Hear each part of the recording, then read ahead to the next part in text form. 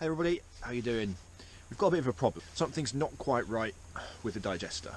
After a promising start, something seems to have either not continued as it was meant to, or it was never right in the first place and I just thought it was.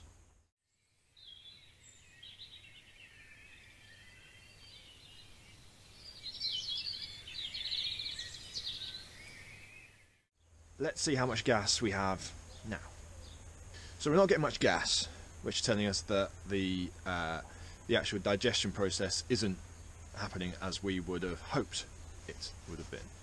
So let's have a look at what the, the issues could be and then go kind of try and go through them one by one to work out what's going on because let's have a look at um, the temperatures. If you look at this the graph here what we can see is the temperature's gone along pretty nicely when I turned off the digester and it declined over three days and when I turned the heat on it gained the heat pretty pretty quickly as well. The heat loss from that was about 0.17 degrees an hour. Um, and then when we put the heater back on again we gained about 1.2 degrees an hour.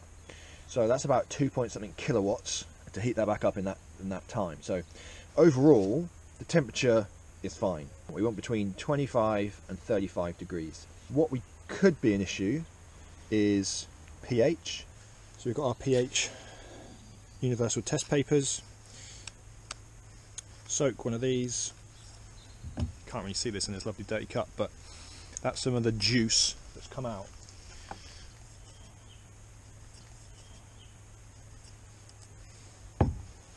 and compare. So you can see that we're about four to five maybe which is not where we want to be. We want to be more up here. We're definitely further down here which is not what we need for the bacteria that we want. So that's suggesting that we need to increase the pH and introduce some of the, the bacteria that we want. So we have there's um, a few different stages. You want a few different kinds of bacteria and the last kind of bacteria are the methanogenic bacteria and they need the neutral pH. But we have other bacteria in there that that do the initial stages of the digestion. What we're missing is we're missing that last stage and the conditions for that last set of bacteria. I think the way one of the ways to deal with that is we're going to try and put some of this natural drain cleaner in there and see what that does if that doesn't work then it's more cow poo the issue at the moment with the cow poo and the manure is that all the cows have been taken off the forest where I got their poo before. So we're going to have to go and find a farm where they've been taken to and ask for some of their poo. Alright guys, well that's enough for today. What I'm hoping you're seeing here is that even though there's loads of um, resources on the internet for how to, to get these guys going, it's not as simple. I'm definitely not finding it as simple as it looks.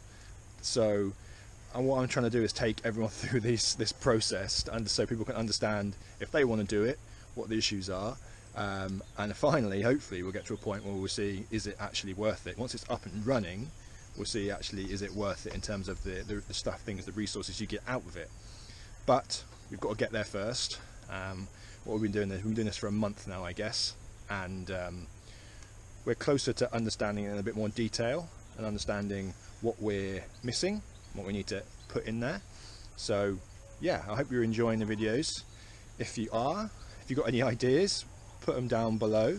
Um, if you're not subscribed, then you made it to the end, so I'm hoping you're enjoying watching. Subscribe below as well, and um, yeah, we'll see you on the next one.